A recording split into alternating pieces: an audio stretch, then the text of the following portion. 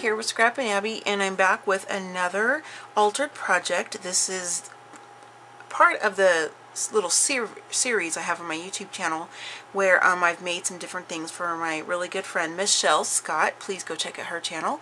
In all of these videos I will be putting a link in um, the description box that'll take you directly to her channel. So these are some um, of the handmade flowers that I made for her. I didn't do any paper ones this time. I just wanted to kind of focus on some of the fabric flowers. So these are the melted fabric flowers that I made for her. And some of these have um, little bits of you know, button or kind of blingy looking buttons in the center. And some, uh, some of these I left without a center like these two. That way she could choose to put in whatever she wants to.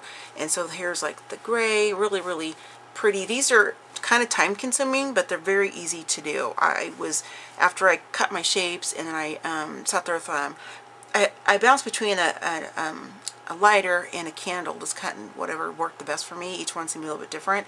And I was just watching YouTube videos, so it was just, you know, one of those kind of projects that you can work on while you're watching TV or whatever. So I'm going to zoom in a little bit um, so I can show you these flowers. I'm not going to pick up each one.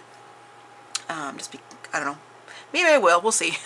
this one's probably one of my favorites, even though I'm a purple girl. I just think this is so pretty. And all the layers. And, you know, I added, oops, I added um, some, like, organs, sheer organza in there, along with the um, satin and that kind of thing. So I have some that have, like, you know, a wood button. That's a vintage button in there. And then this one's a large, a couple larger white ones. This one just has like some seed beads clustered in the center and this one's plain.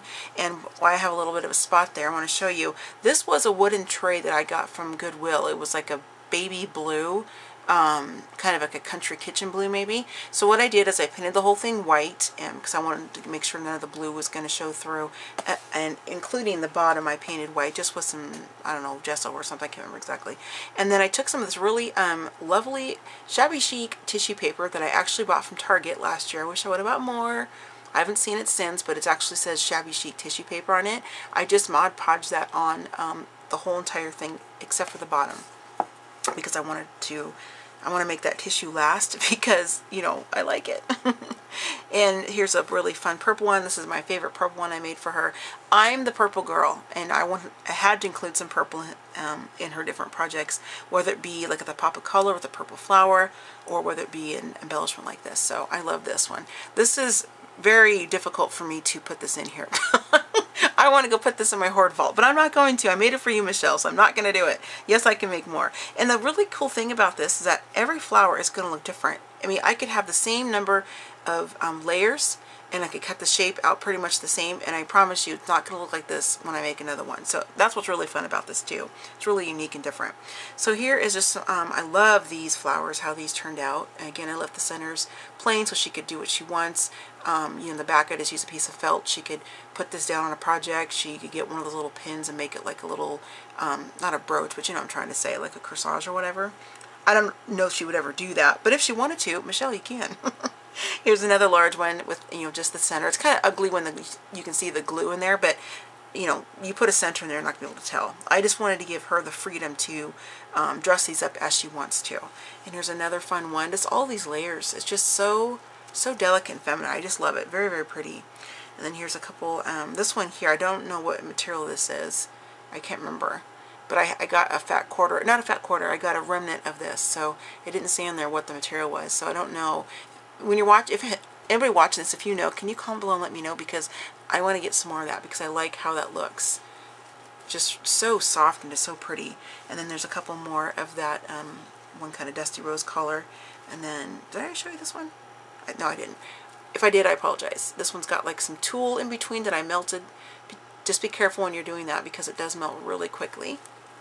And there are a ton, a ton of videos on how to, how to do the melted fabric flower. I will be doing one um, for, um, for, my own channel because my niece saw me. I post sneak peeks on my Instagram and things like that when I'm working on projects and whatever.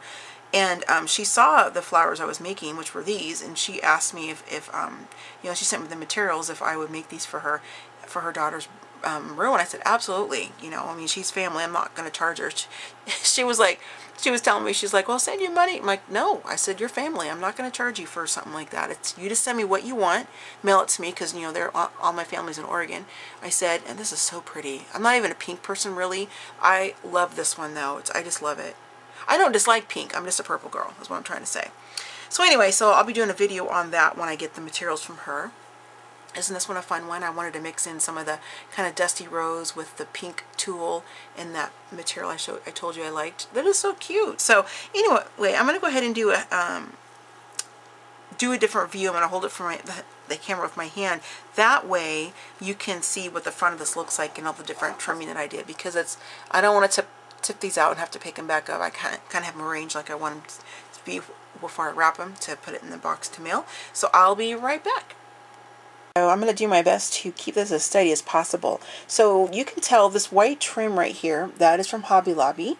And I use this uh, on the Shabby Chic banner that I made for her too. I just had a little bit left um, after I used this. I just bought a little bit because I wasn't on sale, I don't think, when I bought it.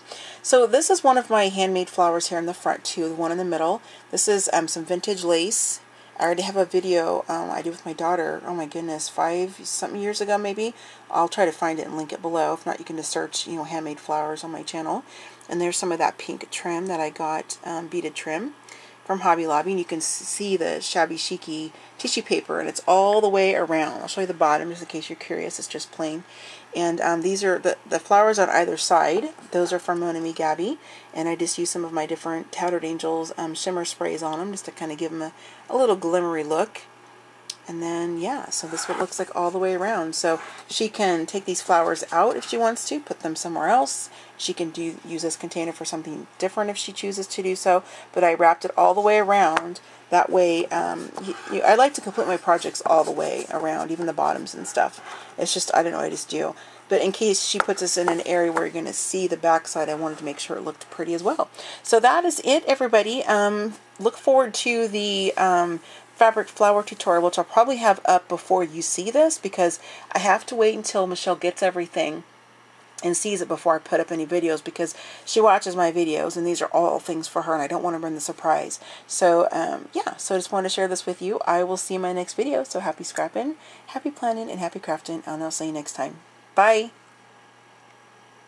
I completely forgot to talk about the inside. So the trim that I use on the outside, which I ordered from Amazon, um, I did do it on the inside too. So if Michele does decide to take these flowers out and use them elsewhere or store them differently, if she puts some things that are like flat line in here whatever, the inside's going to be pretty too. So I'm going to kind of show you inside there what it looks like. So, yep. It's really, really late. this is probably a sign for me to stop doing this and go to bed. So, oops, sorry, I forgot to turn my phone down. So there you go. I'll see you in my next video. Bye, everybody.